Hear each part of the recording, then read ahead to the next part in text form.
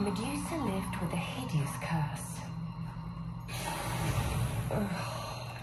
I mean, the whole turning people to stone thing was a bit of a buzzkill, right?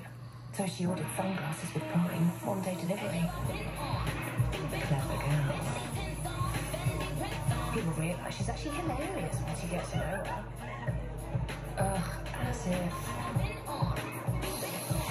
I was asking for it.